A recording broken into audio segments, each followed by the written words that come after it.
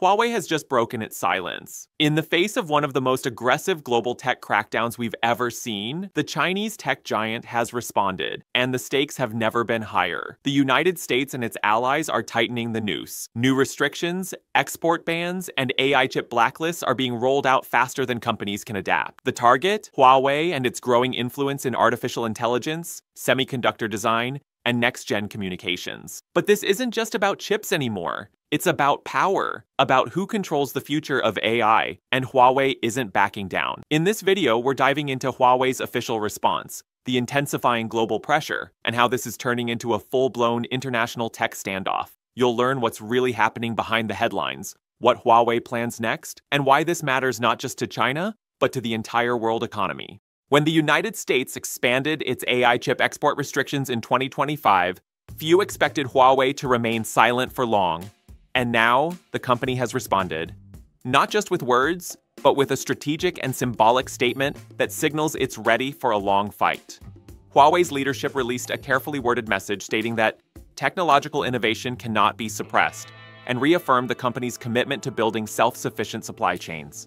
While avoiding direct confrontation with Washington, Huawei emphasized its progress in domestic semiconductor development, pointing specifically to its partnership with SMIC, China's largest chipmaker. The tone of the response was calm but resolute. Huawei made it clear that despite the ongoing bans, it has no intention of backing down from the AI race. According to their statement, artificial intelligence will define the future of global competitiveness, and Huawei will continue to contribute to this future through responsible innovation. But behind the scenes, the message was louder than any press release.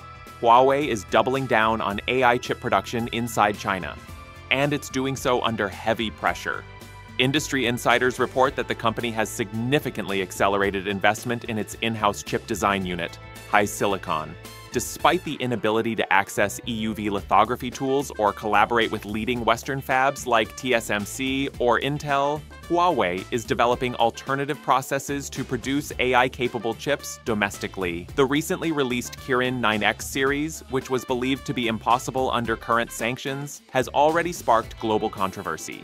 Analysts suspect SMIC was able to fabricate these chips using older DUV equipment, but with creative process tricks that allow for surprisingly high performance. If true, it's a clear sign that China's semiconductor ecosystem is evolving faster than most Western officials anticipated. Huawei's statement also made one subtle but strategic move. It invited global partners who believe in open technology collaboration to continue working with them. This is a not so veiled attempt to encourage companies in the global south as well as firms in Europe, the Middle East, and Africa, to maintain ties despite US pressure. At the same time, Chinese state media quickly amplified Huawei's response, framing it as a patriotic resistance to foreign economic coercion. On platforms like Weibo and Bilibili, the message resonated strongly, with hashtags like Huawei fights back and saw China chip rise trending within hours. To observers, it's clear Huawei is no longer just reacting. It's repositioning itself as a symbol of technological independence and national pride. But the real question is, how will the rest of the world respond? And what happens next as pressure on China's AI ecosystem continues to mount? Huawei's calculated response sent ripples far beyond China's borders, and governments around the world are reacting swiftly. The global crackdown on AI chip technology is no longer just an American initiative. What began as a unilateral U.S. export restriction has now evolved into a multilateral campaign involving key allies across Europe and Asia. In early May 2025, the U.S. Department of Commerce added additional AI accelerators, neural processing units, and high-bandwidth memory components to its entity list, further tightening the restrictions on exports to Huawei, SMIC, and other Chinese AI firms. These new measures not only restrict access to cutting-edge chips, but also bar companies from providing design tools, simulation software, and even cloud-based AI training infrastructure if it could benefit sanctioned Chinese firms. Shortly after, the European Union announced a coordinated compliance framework, signaling that European tech firms would face severe penalties if found violating export controls. Germany, the Netherlands, and the UK all home to major chip equipment and software companies, have pledged to align more closely with U.S. policies. ASML, a Dutch company that holds a near monopoly on EUV lithography tools, confirmed it had suspended all shipments of advanced photonics components to China, including to third-party Chinese partners suspected of rerouting equipment to Huawei. Japan, another major player in chip materials and precision tooling, has also stepped up. Tokyo announced its own set of restrictions targeting fluorinated polyimides and rare gas supplies used in semiconductor production. These moves are not just symbolic, they are designed to freeze China's ability to scale next-gen AI manufacturing. Meanwhile, South Korea is walking a tightrope. Home to Samsung and SK Hynix, two of the world's largest memory and foundry players, Seoul has shown reluctance to fully sever tech ties with China, given its critical trade relationship. However, under growing pressure from Washington, South Korea has quietly started reducing certain exports and has increased internal reviews of licensing procedures. But it's not just governments tightening the screws. Private companies are responding too.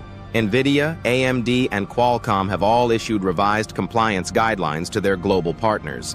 Cloud computing providers like AWS and Microsoft Azure have reportedly begun auditing accounts linked to Chinese AI development teams to ensure compliance with the latest restrictions.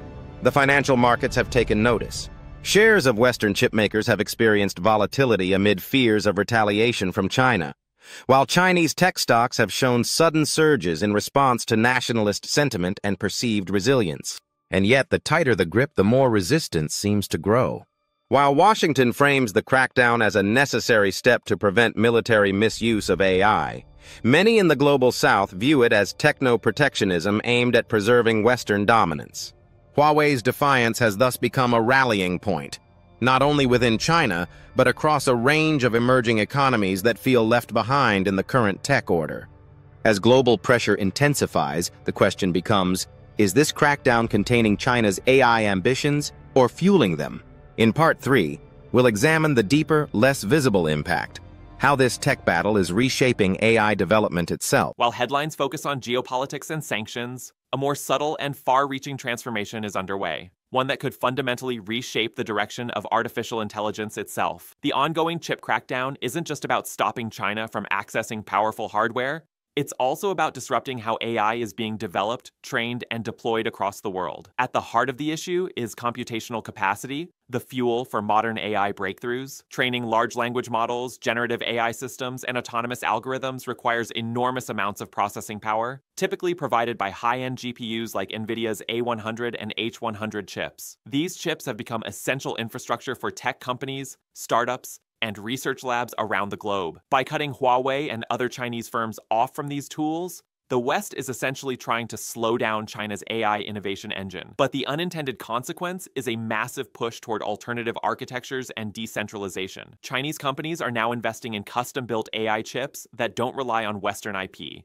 such as Huawei's Ascend series, which, while not as powerful as NVIDIA's flagship chips, are being rapidly improved for specific tasks like natural language processing and computer vision. Meanwhile, software innovation is stepping in to close the gap. Chinese researchers and engineers are optimizing open source AI frameworks to run more efficiently on lower tier hardware. Techniques like quantization, pruning, and model distillation, once considered niche, are now being scaled and mainstreamed to compensate for hardware limitations. This shift is creating a bifurcation in global AI development.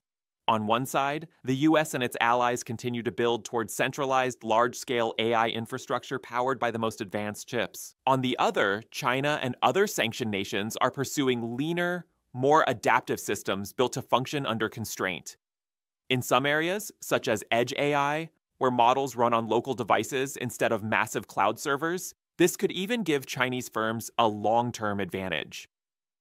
There's also a growing concern among AI ethicists and academics that geopolitical fragmentation will lead to closed AI ecosystems, where models are no longer shared globally but become state controlled tools. This could hinder collaboration, transparency, and safety research in ways that are hard to reverse. Moreover, the restrictions are forcing talent redistribution. Chinese AI talent that once worked in US affiliated research labs is now returning home or founding domestic startups. The result? A more insular but increasingly self reliant Chinese AI ecosystem. One underreported development is the growth of AI training centers in regions outside the US and China, such as the Middle East, India, and Southeast Asia. where companies are trying to build their own sovereign AI stacks. This suggests the ripple effects of the crackdown could redefine not just US China relations, but the entire global map of AI power. In short, the chip ban is accelerating innovation in unexpected directions. It's no longer just a blockade, it's a catalyst. Behind Huawei's confident response lies a far more coordinated and long-term strategy, one that includes not just corporate resilience, but deep government support and industrial realignment. In the face of unprecedented sanctions, China is adapting rapidly, and at the heart of that adaptation is SMIC, Semiconductor Manufacturing International Corporation, the country's leading chip foundry. SMIC was once seen as a second-tier player in the global semiconductor space, but that perception is quickly changing. Despite being denied access to the world's most advanced EUV lithography machines, SMIC has reportedly found ways to manufacture 7nm and even experimental 5nm chips using modified DUV deep ultraviolet processes. These developments have stunned many Western analysts, who assumed such technological feats were years away for China. But SMIC isn't working in isolation. The Chinese government has ramped up funding through its Big Fund, National Integrated Circuit Industry Investment Fund, which injects billions into local semiconductor firms, universities, and research centers. In parallel, a new wave of chip nationalism is sweeping China, with local governments offering tax incentives, free land, and fast-track approvals to AI and chip startups. Huawei, SMIC, and other tech giants are now deeply intertwined in a state-backed innovation ecosystem. Their mission is clear.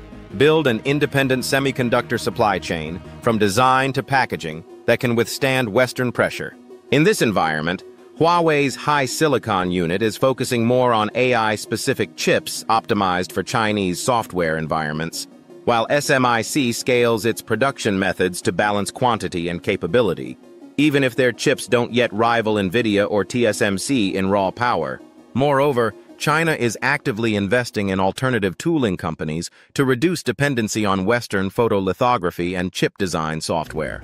In 2025, several Chinese EDA, electronic design automation startups, received major government contracts with the goal of replacing US-based tools like Synopsys and Cadence over the next decade. At the same time, Beijing has tightened controls on rare earth exports, a strategic countermeasure that adds leverage in ongoing tech negotiations. SMIC's next moves will be watched closely by markets and policymakers alike. Its ability to deliver reliable, scalable chip production under sanctions could determine not just Huawei's future, but China's technological sovereignty for the next generation.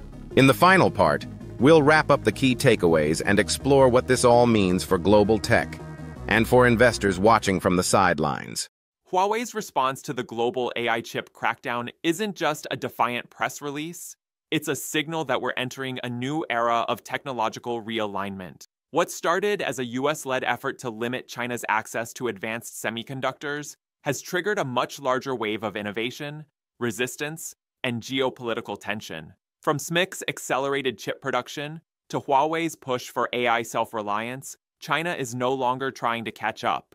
It's building a parallel ecosystem. Meanwhile, Western countries are tightening controls, and global supply chains are fragmenting in ways we haven't seen since the Cold War. For investors, analysts, and tech enthusiasts, the message is clear. The battle for AI dominance is no longer just about who makes the fastest chip. It's about who controls the systems, the standards, and the narrative. As this story unfolds, we'll be here to break it down.